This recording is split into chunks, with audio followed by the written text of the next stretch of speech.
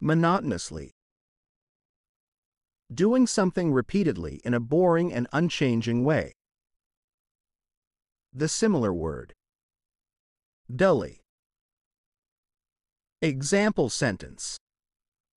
She worked monotonously at her desk all day.